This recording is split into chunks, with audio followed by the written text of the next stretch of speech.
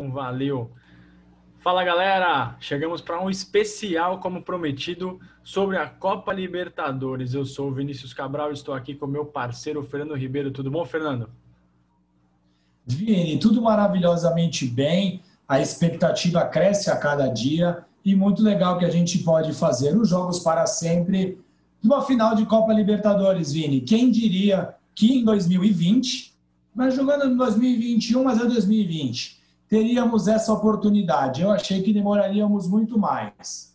Acho que só o Cuca os jogadores acreditavam, né? A gente fez o começou a fazer conteúdo, né, de podcast e vídeo ano passado, jamais imaginaríamos estar onde estamos agora, e é por isso que fizemos esse especial dividido em três partes. Estaremos sempre com essa mesma camiseta, o Fernando com a camisa de 2000. Essa é de 2010, estou vendo bem? É, é de, de 2011. De 2011. Eu estou com a camisa do, desse senhor aqui, chamado Edson antes do nascimento. Nos três vídeos estaremos com ela. Não pensem que a gente não se troca, não toma banho. É que a gente gravou tudo de uma vez. Então estaremos com a mesma indumentária.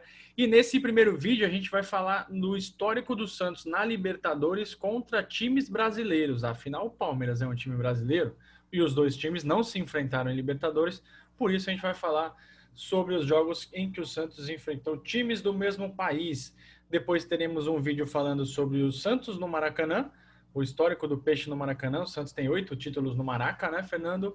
E para finalizar, o desempenho do Santos em finais de Libertadores, tudo linkado. Um, um vídeo na quarta, outro na quinta, outro na sexta, para tentar diminuir essa tensão pré-jogo. Fernando, para abrir aqui de bate-pronto, a gente tem 16 partidas do Santos contra brasileiros na Libertadores e o desempenho é bastante equilibrado. Seis vitórias, quatro empates e seis derrotas. Queremos colocar um 7 a 6 aí, não? Com certeza, Vini, com certeza. A expectativa é essa. É, confrontos domésticos na Libertadores geralmente são bastante complicados, né? Porque as equipes se conhecem muito, jogam muito entre elas não há, principalmente nas, nas edições mais antigas, aquele fator surpresa e tudo mais. Uh, um grande equilíbrio entre Santos e outros brasileiros na Copa Libertadores. Equilíbrio esse que eu acho que vai ser a tônica da partida final contra o Palmeiras, Vini. Ah, com certeza, vai ser um jogo bastante equilibrado. Hum. Equilíbrio esse que não, que não teve nesse confronto, confronto que a gente vai falar agora, né? O Santos enfrentou um brasileiro pela primeira vez na Libertadores em 63 e foi válido pela fase semifinal. No primeiro jogo, equilíbrio, vamos ser sinceros, 1 a 1 no Pacaembu.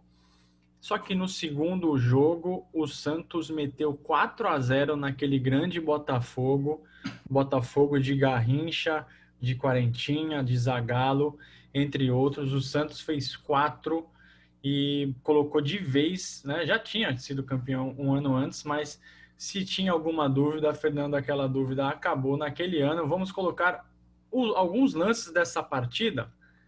Vamos lá aqui. Vini, essa que foi, enquanto você você vai muito bem com a tecnologia, essa foi a primeira vez que dois clubes brasileiros se enfrentaram na Copa Libertadores. A gente tem que lembrar que a Copa Libertadores no início era disputada apenas pelo campeão nacional. E aí o Botafogo entra como vice-campeão nacional pois o Santos foi campeão da edição de 62, Vini. Isso, a Libertadores não é essa festa que é hoje, né? Que vai até o sétimo, às vezes o oitavo colocado do brasileiro. Era bem restrita. E olha só o gol do Pelé, o primeiro gol do 4 a 0 Ele recebe, ganha da, da, da defesa na velocidade e dá um toque por cima. Ó, impressionante oh, Pelé, tranquilo. Que maravilha. Já sai comemorando. Vídeo com a assinatura do nosso, vídeo com assinatura do nosso grande amigo Wesley Miranda, Vini. É isso mesmo, um abração, Wesley.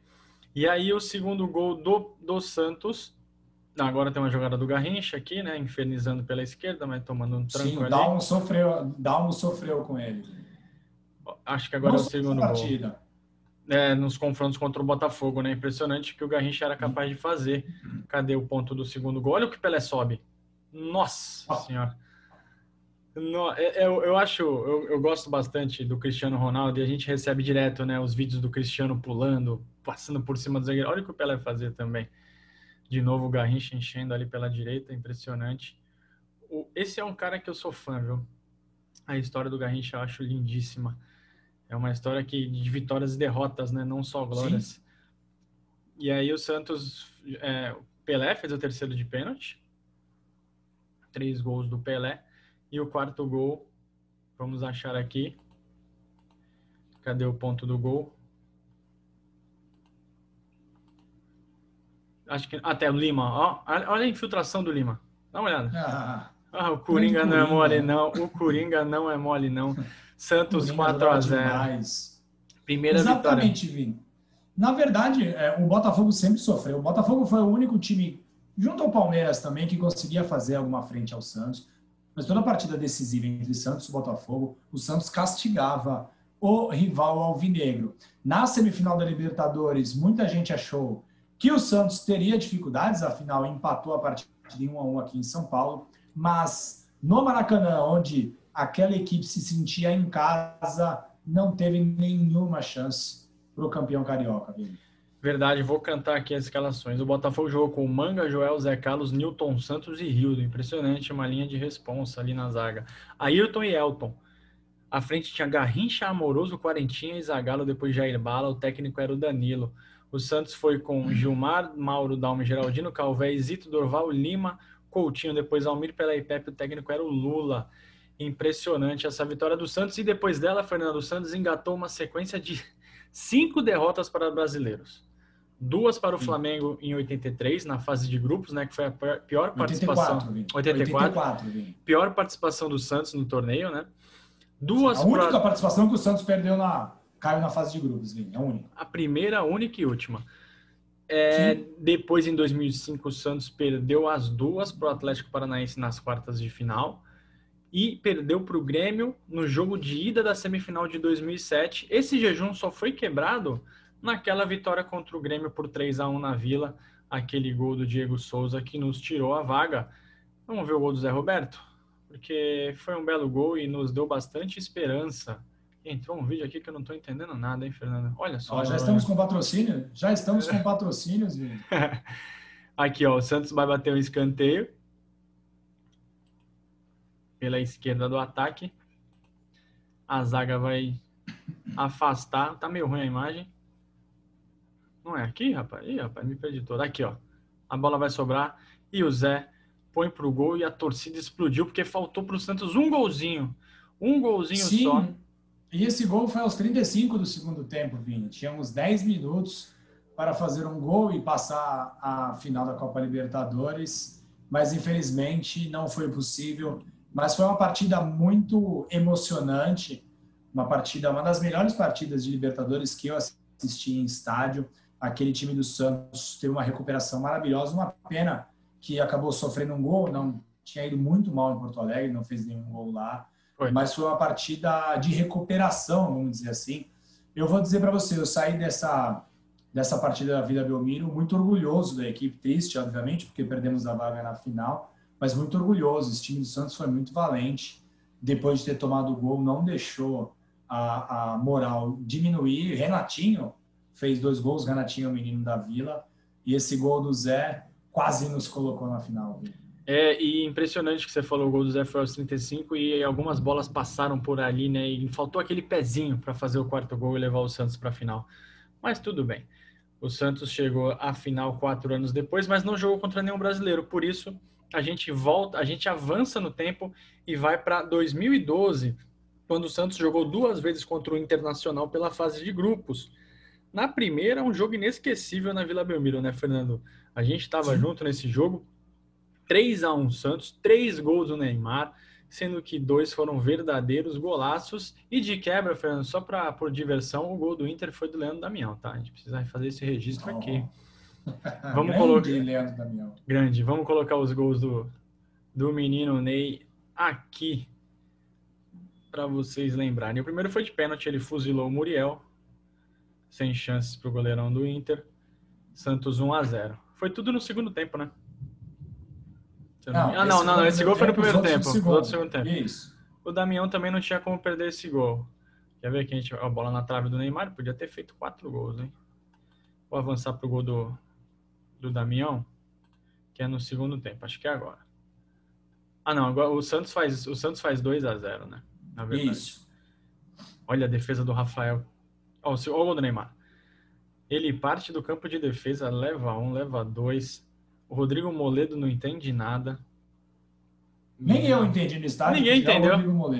Ninguém entendeu o que aconteceu.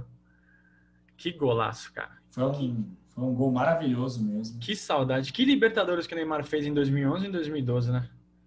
Impressionante sim, sim. o que ele jogou 2012, de bola. Ele, 2012 ele teve uma participação muito importante. Ele fez mais gols na Libertadores de 2012 do que na Libertadores de 2011. Mas infelizmente a gente não conseguiu chegar na final, né? Sim. Você quer ver o gol da Damião ou passa? Ah, Vini, você que é o homem da tecnologia decide. Vamos ver, vai. É esse gol? É, olha lá. Olha que difícil, Damião. Mas fez, fez o gol, né? Tava ali para fazer. Sim.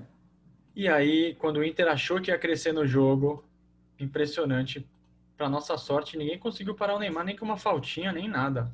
Olha, de novo ele recebe mais ou menos no, no campo de defesa, corta o Tinga, jamais ia conseguir pegar. O Guinha Azul vem desesperado, ele se ajeita e dá um tapa por cobertura em cima do Muriel. Ó, o Muriel fica bravo, hein?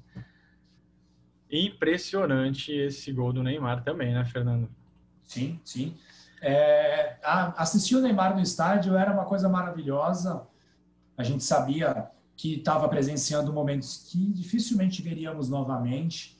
E esta partida contra o Inter é uma partida muito marcante da passagem do Neymar pelo Santos, na Vila Belmiro, né? Porque era um jogo grande, o Internacional tinha sido campeão em 2010, né? É uma base, a base dessa equipe tem muitos remanescentes do Inter campeão em 2010, o Santos era o atual campeão, tinha vencido em 2011. Prevíamos uma partida muito dura, mas o Neymar facilitou as coisas para o Santos nessa partida. Isso, eu vou cantar as escalações para a gente lembrar como tinha qualidade nos dois times. O Santos tinha Rafael, na lateral tinha o Fucile, depois entrou o Bruno Rodrigo, a zaga do Dracene e Durval, e o Juan na lateral esquerda. O meio tinha Henrique, Arouca, Ibson, depois Elano e Ganso. Coitado do Arouca, que teve que correr por, por quatro aqui, hein? Na frente, Sim. Neymar e Borges, com Allan Kardec substituindo o centroavante. O técnico era o Murici. Quando a gente ouve trovões aqui na cidade de Santos, hein? São Pedro não está perdoando, Fernando. O Inter também tinha um time bem forte. Muriel, lateral era o Ney, Rodrigo Moledo e Índio na zaga, e o lateral esquerdo era o Kleber. Kleber de boa passagem pelo Santos. O meio-campo tinha o Guinha Azul, o Elton, depois o Dátono, o Bolatti, depois o Tinga, o D'Alessandro, depois o Dagoberto e o Oscar.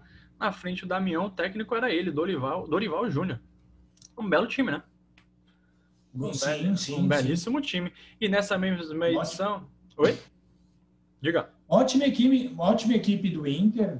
É, jogadores históricos do Inter nessa, sim. nessa equipe, mas na Vila Belmiro o Santos não deu a mínima chance para eles. Verdade. E aí na semifinal o Santos teve aqueles dois confrontos equilibradíssimos contra o Corinthians. Na Vila o Corinthians conseguiu fazer um gol, gol do Sheik. Depois o Cássio pegou tudo.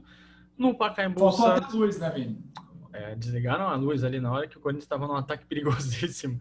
E aí no jogo de volta no Pacaembu, o Santos saiu na frente, mas logo no começo do segundo tempo tomou um gol bobo, bobo, bobo. E aí depois o Corinthians estacionou o ônibus, o Santos não conseguiu passar. Enfim, Fernando, esse é um jogo para esquecer, nem vamos entrar muito nele, né? Por favor, Vini. E aí, em, dois, em cinco anos depois de 2017, o Santos encarou o Atlético Paranaense nas oitavas, com a chance de vingar a derrota de 12 anos antes. E o Santos, assim como tinha acontecido pelo lado paranaense, venceu os dois jogos. No primeiro, um 3 a 2 em Curitiba, com dois gols do Kaique e um gol do Bruno Henrique. Dois Sim. caras também que a gente não faz muita questão de lembrar, apesar do Bruno Henrique ter jogado bem no Santos. E na Vila, 1 a 0 gol do Bruno Henrique. E, cara, esse jogo é impressionante porque o Atlético foi muito melhor que o Santos, né? E o Santos, foi, mesmo assim, saiu foi. vitorioso. Foi, o Santos dormiu na vantagem, né? O Santos entrou extremamente preguiçoso nessa partida. Eu estava em Vila Belmiro e o Atlético jogou muito melhor que o Santos. A tensão tomou conta da Vila Belmiro, porque o gol do Atlético amadurecia a cada minuto, mas aí o Bruno Henrique, numa jogada, num contra-ataque muito rápido, faz o gol, mata as chances do Atlético e seguimos adiante. Aquela Libertadores 2017, fomos muito bem, chegamos invictos até as quartas de final, mas infelizmente deu tudo errado no jogo na Vila. Verdade, mas não falaremos porque o Barcelona não foi registrado Sim. no Brasil. Fica para uma próxima essa Sim. derrota. Exato. E os dois últimos jogos contra brasileiros aconteceram nessa edição, contra o Grêmio, quando a gente finalmente vingou a eliminação de 2007. No primeiro jogo, 1 a 1 em Porto Alegre, gol do Caio Jorge, na Vila Belmiro, aquele 4 a 1 histórico. Vamos ver o gol, o gol do Caio Jorge, Fernando? Só para a gente recordar. Vamos, Vini. Vale a Vamos, pena, né? é um tipo. Esse jogo eu não me canso de rever as partidas, Vini. É uma partida Olha que já entrou para a história do Santos. Eu não entendi nada, né? A gente está tão perto da Vila e não pode ir, mas olha, começou o jogo. O Jean-Pierre foi pressionado pelo Alisson, tocou o David Braz ali, não conseguiu recuperar. E ó, toma.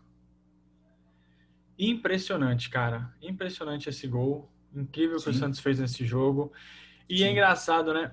Esse é o placar que a gente precisava em 2007, né? 4 a 1 Sim. Deu, que bom Exatamente. que deu tudo na, certo.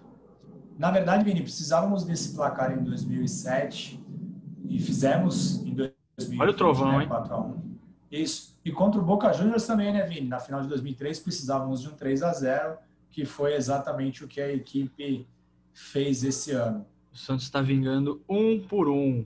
E o próximo vídeo, que vai ao ar na quinta-feira, será sobre os títulos do Santos no Maracanã. E são oito, Fernando, fazendo com que o Santos seja o quinto time com mais títulos no estádio, atrás apenas dos quatro grandes do Rio: Flamengo, Vasco, Botafogo e Fluminense. O Santos tem mais títulos até que a seleção brasileira. Você tem algum destaque final? Destaque final é demais, né? Vini, o destaque final, como diria dos épicos tempos de esporte por esporte, é para essa partida de 2020 contra o Grêmio. Uma partida que já entrou para a história, a gente é, vai até amadurecer ao longo dos anos, conforme os anos vão passando, muitas histórias brotarão, mas já é uma partida que está na história do Santos. Talvez top 5, top 10 partidas do Santos na Copa Libertadores. Foi uma exibição de gala contra um rival duríssimo e com uma equipe que a gente ainda tinha dúvidas do que poderia fazer. Mas quando a gente relembrar partidas contra brasileiros, a gente nunca vai poder esquecer essa magnífica vitória em 2020 contra o Grêmio. Exatamente, Fernando. E quem gostou desse vídeo, dá o like aí embaixo, se inscreva no nosso canal, mande para os seus amigos e amigas e comentem aí o que, vocês acharam do vídeo. A gente também está no Twitter e no Instagram. Voltamos em breve, muito em breve, para o próximo vídeo da Saga da Libertadores. Valeu, galera! Valeu, gente. Tchau, tchau.